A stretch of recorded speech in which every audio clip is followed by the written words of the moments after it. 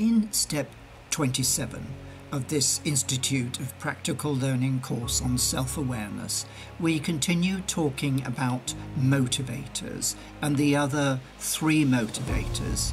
We cover social acceptance, power and control, and finally wealth and money and possessions.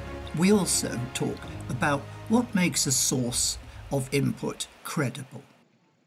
Right, the next question, the next motivator is about your social nature. As a, as a human, you have a hunger within you, a, need to be liked and to be loved.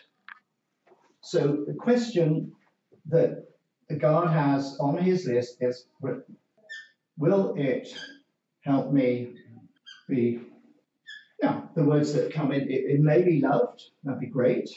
It may be at the other end, just seen. So will it make me be seen? So, for example, uh, the advert says, wear, wear this, um, these Gucci shoes, or, you know, all those other brands in the, in the clothing thing that have a, a certain kind of message that make you, you know, look cool and, and be accepted. So, seen, accepted, just accepted into a group, maybe liked. There's a company that makes rum called Bacardi. They used to advertise on television. They used to spend a huge amount on advertising that drink. But it was all these happy young people, quite often on in like wonderful uh, seaside places with palm trees and you know pretty flowers and stuff like that. And all having an absolutely wonderful time, and they're all getting sloshed on Bacardi. But what you're meant to do as you watch it is think, if I drink Bacardis, people are going to like me, and I'm going to have a lot of good. I'm going to have a lot of fun. So these inputs come in, but the appeal of that advert, you know, they don't just say, uh, drink Bacardi, it'll help you forget all your problems, which might be down in the safety space they'll say, drink Bacardi, it'll make you popular or be liked. And maybe quite a lot of these things is drink it and you will find a perfect partner who likes Bacardi as well, and you will find love. So the question, the test is in your mind is will this that's coming in make me more popular, more accepted, help me be loved, and so on? And if, it, if the answer is yes, this looks like it will. It's passed. It passes the test if the advert's good enough. It's not so much a need. They're pushing something which you really don't need. I mean, you don't need Bacardi, but through sheer power and repetition of advertising, and as I say, it doesn't have to be Bacardi, it can be any kind of beer or drink or food or clothing, it can be any of those things. But the idea of the advertising is trying to push the score of the input to get it up past this threshold so that it gets in, into your mind. So I'm going to pause again. Right now, the next of the four main motivators is to do with power. So will this input increase my power and control? Now you may think, I'm not really interested in power. I, I don't want to be president. I don't want to, uh, I don't even want to be a manager. I don't want to be a boss. But on the other hand, you may be working in a company and people just aren't listening to you, or your manager's horrible to you, and you feel you want to have more of an impact, and, and you've got ideas that you'd like people to accept. So if the information that comes in through these inputs looks like it might be useful to you to increase your power or your control of your personal situation, then you're going to give it a reasonably high score. Possibly, if you believe it, it'll get in. Now, this explains the popularity of these um, self improvement videos. If you look at a, I think it's a guy called Tony Robinson. Not sure about the name. I've never really watched his stuff very much, but he's got a huge reputation and he's got millions and millions of hits. And you can pay, I don't know how much it costs to go on one of his events. And, it, and especially, there's a huge number of books that are sold about how to increase your personal power, your charisma, how to get promoted at work, how to do this, how to do that. So, increasing your personal power, especially once you're in the world of work, when you are being ignored, you, in school and university, you're not ignored. Your teachers and your lecturers, they're there to shove stuff into your head as much as they can. And they're not going to ignore you because you're a, what's called a bum on the seat. You're, you're there. They need you to stay there, okay? But you have no power. But once you leave university and get a job, this whole business of power and where you are in what's called the pecking order, are you just a low level grunt? At the very lowest is called pond life. Are you right down there? Or do you want to be a foreman or do you want to be a junior manager or a senior manager and oh, all that sort of stuff. So any inputs that come in that say we can improve improve your power control, they they get through depending on how well they're done. Now these things are all about credibility. Someone telling you I can increase your power and your skills and the quality of your life, they they need, generally speaking, to be from a known source so, for example, Harvard Business School or Yale or Stanford, these are American ones, or some, you don't tend to get it so much um, Oxford and Cambridge dons. They, they kind of think it's a bit naff to do this sort of thing. But you will find people who purport to be able to teach you something will somehow try and increase your perception of just how good they are at what they do. They'd love to have an identity. So someone produces a book on management skills, the publishers spend hundreds of thousands of dollars promoting it, saying you really should know about this guy. It, uh, what he's telling you is wonderful. You should believe it.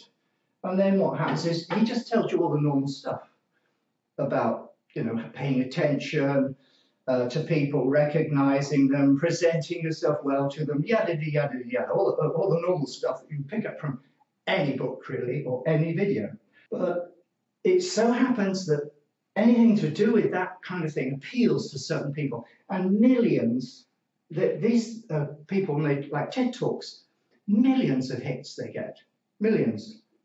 And it's because people are interested, because they hope it'll increase their power you can probably tell I'm very skeptical about whether it will increase their power because once it, it may get through into the conscious mind, but then very often it fails the next test, which we will be coming on to. But as long as it can get through and stay there long enough for you to buy the book, that's all that matters as far as the people who produce the book is concerned. So that was question number eight. Will it in, increase my power and control of my life. I said there were four main motivators. So we've done this safety, being loved and liked, increasing your personal power. So I'm going to pause briefly because it's all quite chunky, this stuff. You need to think about yourself. What are, what are your motivations? What's important to you? I'm not saying you, you want to be a megalomaniac and run the world. Uh, do you feel anxious? Are you insecure? Or are you like, I'm all right, thanks? in which case you won't be scoring the inputs very high and they won't come into your conscious mind. Do you feel anxious about being liked? Would you like to be liked more? Nearly everybody would like to be liked more. So there's good chance if it's well presented, and especially if it's done with fun, because being liked is social activity. Social activity should be fun. So there's a good chance if it's about helping you be liked it might well go through and you'll watch it and be interested in it. Okay, as I say, I'm going to pause before we come on to the last motivation area. So the last of the four motivation areas is to do with possessions and ownership and wealth and money. You being richer. So here comes the input, and your subconscious mind looks at it and says, Will it will what this person is saying, will this input help me make money or will it help me save money? Now, again, I invite you to just spend next time you're watching TV, if you ever do, or when you see adverts, maybe as you drive along, look at the advert and think, what's this advert about? What, what's it trying to do? How is it trying? What path is it using to try and get into my mind? Is it trying to suggest to me that if you take this action or buy this stuff, it will help you make money?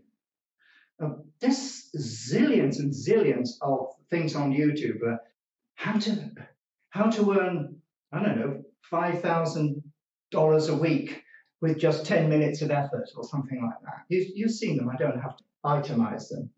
Or it can be an advert for a, a course, it could be a degree course somewhere or a qualification. If you come to our college and get this degree, you will be on the fast track to senior management. That's kind of long term, and it's a big, what's called a big ticket item. So these adverts, when they come in, they're either for like small ticket items, uh, buy our bag of sweeties. They're really nice. It doesn't help you make money, does it? What does that do? It doesn't, it's not your safety.